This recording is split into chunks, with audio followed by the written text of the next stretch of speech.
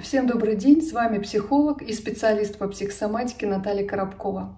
Сегодня следующая тема – холецистит, воспаление желчного пузыря.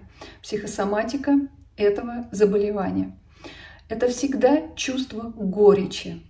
Туда входит злость, такая прям граничащая с бешенством, и в то же время досада и ощущение, что я бессильна перед как, как, каким-то, ну, перед каким-то, перед какой-то несправедливостью. Вот перед какой-то несправедливостью. И поэтому все, что я могу, это продолжать тихо беситься, и, но проблема не решается. Как правило, за этим стоит какое-то травмирующее событие, очень часто в детстве связано что-то такое с взаимоотношениями с кем-то.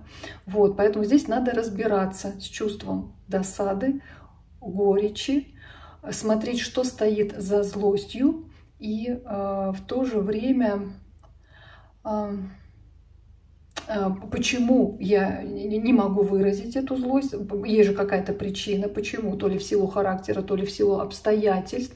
Может быть, ее нельзя и очень опасно выражать.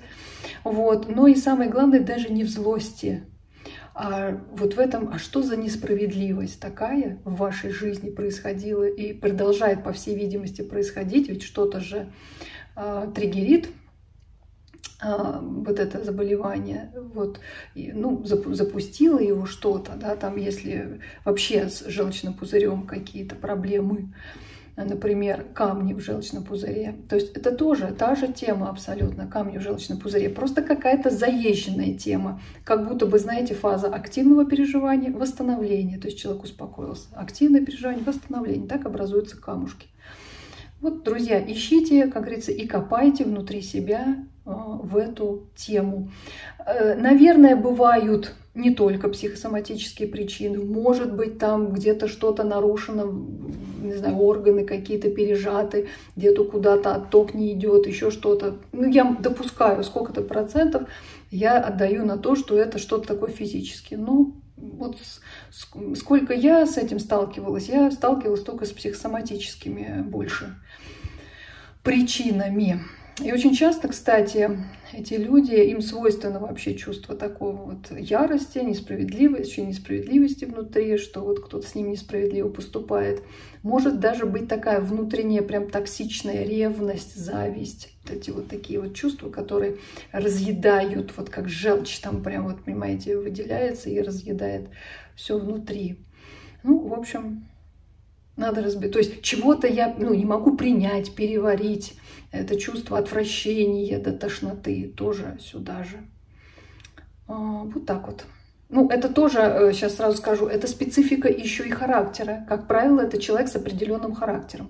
Потому что даже при одних и тех же жизненных обстоятельствах один человек будет реагировать по одному, и у него может вообще не быть никакой психосоматики, ну, либо какая-то другая будет, потому что он как-то по-другому будет переживать за это.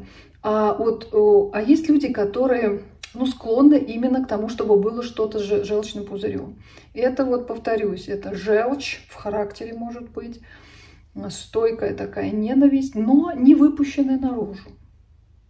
И главное, вот я говорю, она еще и крутится вот, вот так вот все время по какой-то заезженный круг таких чувств. Ну вот надо, вот, в общем, смотреть, откуда и почему они появились, адекватны ли они ситуации, либо человек, скажем так, ну, неадекватно, неадекватно бурно реагирует на что-то.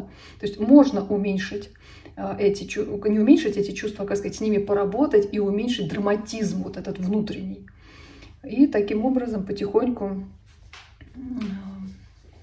ну, потихонечку, чтобы органы начали расслабляться, чтобы а, уже так желчный пузырь, бедолага, не отдувался за чувство хозяина. Будьте здоровы!